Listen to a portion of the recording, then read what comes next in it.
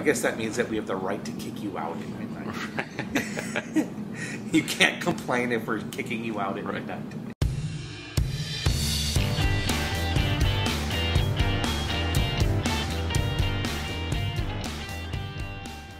Uh, my name's Kevin Levi. I am Generation 5 in the Iwan Ries family. I have been here for 17 years. To explain the fifth generation, the lineage goes, this uh, store was opened in 1857 by my great grandfather's uncle. Throw that into perspective, that's four years before the Civil War.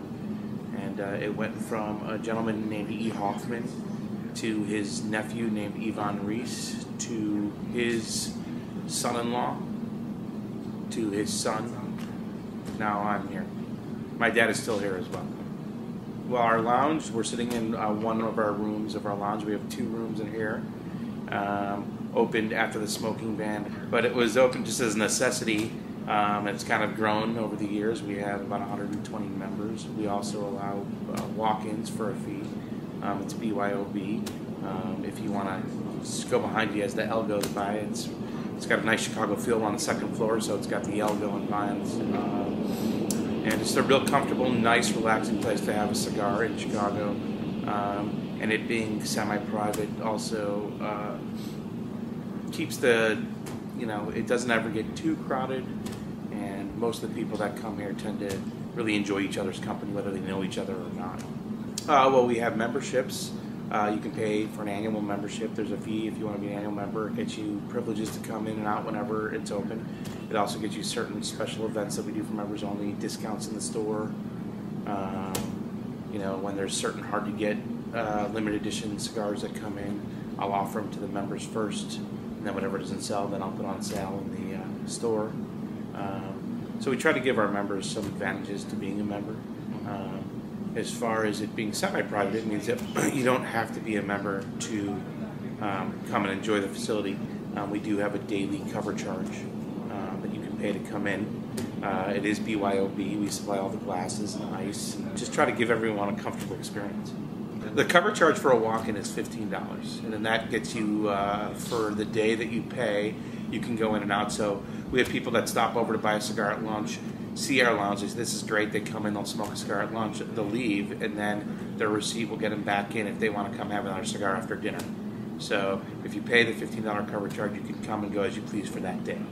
Uh, the hours are uh, from the time the store opens at nine in the morning till um, we like to, we, we, we say that our last seating is at 10 which means that we want you in by 10 um, and we try to be cleared out by midnight but it's flexible. Depends on our lounge manager depends what he's got going on. I mean there have been times where you know we've had a handful of members in here who have been relatively mellow and subdued and not too overserved by themselves.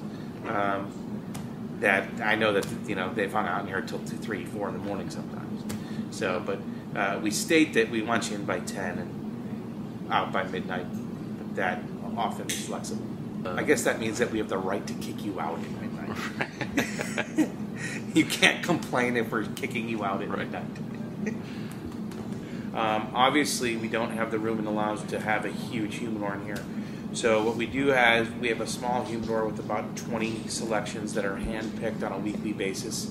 Some kind of our favorites that stay in there because members want them in there. But we do have cigars for sale in the lounge, and again, it's a hand-picked selection that gets rotated about once a week. Uh, personally, you know, I'm all over the place. You know, I, I find it uh, my duty to try as many as much new stuff as possible. Um, you know, I'm a big fan of Cameroon wrappers, so when I do want to just smoke something that I'm familiar with that I like, I usually tend to, you know, go towards an old favorite of a Cameroon wrap cigar. When it comes to our product, the breadth of our product, I feel like we have uh, one of the widest selections in the industry. Um, not only because we carry a wide selection of cigars, which I'll talk about in a minute, but we're a pipe shop. We started as a pipe shop. We've always been a pipe shop.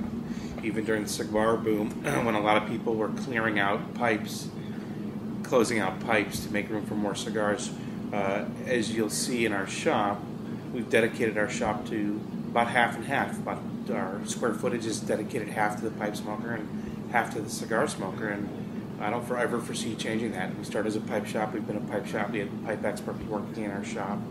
Um, that's where our business grew. That's where we were born from. So we will never abandon it. So as far as being a full-fledged tobacconist, I think we stand pretty well there because we dedicate ourselves to the pipe smoker so much. As far as cigars, what do we carry? Yeah, we hope to carry what sells. to be perfectly honest, um, you know, in the new world of cigar manufacturers coming out with new things every five minutes.